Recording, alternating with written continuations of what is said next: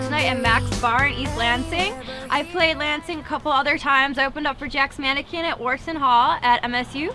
It was really, really fun. And then I played another time where it was during the Final Four and it was like the worst possible day for a show. But tonight's a little better because there's no basketball. I'm just excited to be back here and uh, yeah, happy to be back in Michigan. I just released my new record, Connect the Dots. It came out August 10th. It was really awesome release. I had an iTunes feature and Song of the Week, and it was incredible. The response was really overwhelming. I had over 400,000 downloads, and actually for three days I was in the top 10 pop charts, which was amazing. I was actually right above Lady Gaga and Katy Perry one day under Justin Bieber at number seven for album sales.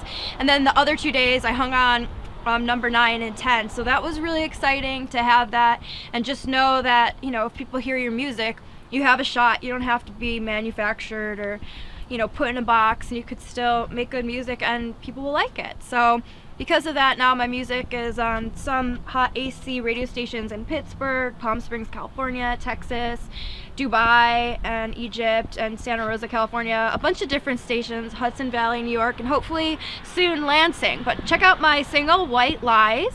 You can go on my MySpace, which is Stacy Clark, S-T-A-C-Y-C-L-A-R-K, or Google me, add me on Twitter, I have webisodes and all that fun stuff.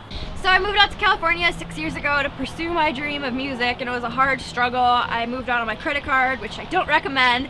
I had to work a lot of jobs that I hated to pay it off and then brings me to today. I have a deal with Vanguard Records. They also have Indigo Girls, the Watson Twins, um, a lot of really awesome artists, Grammy winning artists, and I'm just so excited to be on a label that gets me and understands me, and it's been such a long journey, but I'm from Buffalo, New York originally, so it kind of shows, even from Lansing, like you can do anything you want if you're willing to work hard for it and make sacrifices. You're telling me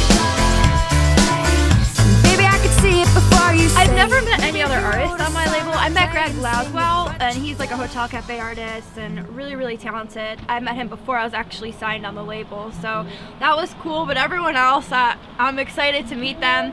Um, you don't always meet the other artists. It's more like you working directly with the label. So, so far it's been awesome and I'm really excited about the launch and there's a lot of cool things coming up. Like I'm gonna be on LA Ink in the fall and I got my CD artwork like tattooed on my back and so a lot of like really cool little things like that and tours coming up and stuff. So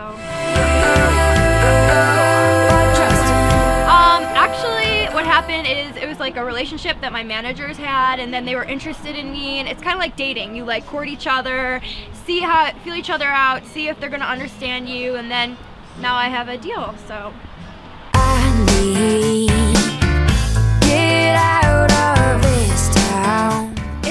amazing. I mean, to start, I've been playing guitar for a long time since 1995 and I started playing coffee shops like I had to sneak into bars. I was underage to play open mics and things like that. So moving forward to now it's incredible to open for 15,000 people is a dream come true and especially in one of the venues I grew up going to see Sarah McLachlan, Tori Amos at. It was just like amazing and we opened up for America and they're a great rock band and they were so cool and it was just like the best experience really. I want to play every show like that so it gives you something to reach for, you know.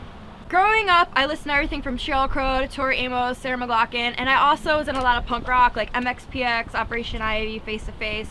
I did like skateboarding and snowboarding, played soccer, so I liked a lot of music that was like, you know, more like that hardcore, which Buffalo has a big hardcore scene with like Snapcase and different bands. So I know it's weird, but I liked a lot of that. And now I like everything from hip hop to top 40. I like dancing, you know, but everything from like classic rock, Led Zeppelin, Fleetwood Mac to certain like Jay-Z, you know, it just depends like what song and, but yeah.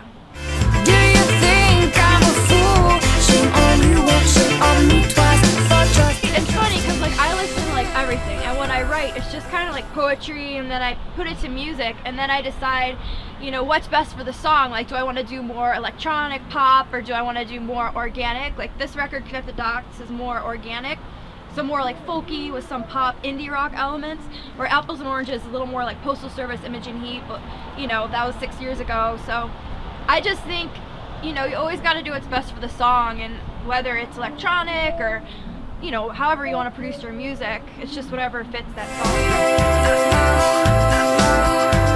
I'm doing a solo tour right now, but I do have a full band. We won Best Pop Band in Orange County, and we play there a lot. So anytime we do like fly dates and stuff, I'll be with them, and I love playing with them. But unfortunately, with the economy, I can't always afford to bring them all the time. I mean, with a full band, it's like you have your band behind you and with you, and you just feel like all the different sounds like when you're singing you know like when the drum's gonna kick in it's a little more exciting. When i play acoustic it's more intimate. I feel like i'm wearing my heart on my sleeve more because it's just me and my guitar. There's not much between the audience and i or with the band. It's like you're a little more you know part of a group rather than on your own. So I like both experiences. If I could tour with my band all the time, right now I would, because I love them and I love the sound we create. Where